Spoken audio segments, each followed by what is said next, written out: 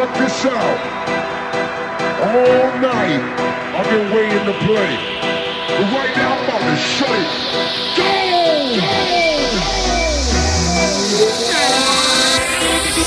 down.